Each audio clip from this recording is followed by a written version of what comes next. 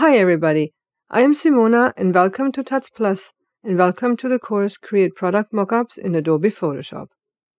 When pitching a design to a client, the presentation can be crucial to convincing the client to go with the concept. So you have a cool design, and you know that the client will love it.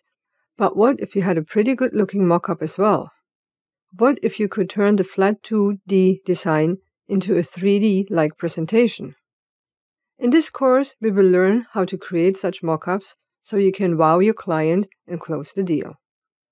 There are tons of places for free mockups and mockups for purchase out there, but it is good to know how to just create one yourself. That way they are unique and not overused, and sometimes it is just pure fun to create them. Just watch how a few shapes and highlights and shadows bring a piece to life. This course focuses on most common mockups and the possibilities are endless. But most tools, tips, and tricks can be applied to many other mockups that you might want to create.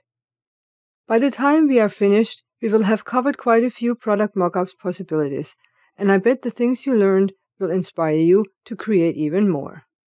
I'm looking forward to walking you through Create product mockups in Adobe Photoshop, and I hope you will learn a trick or two. So let's get right to it.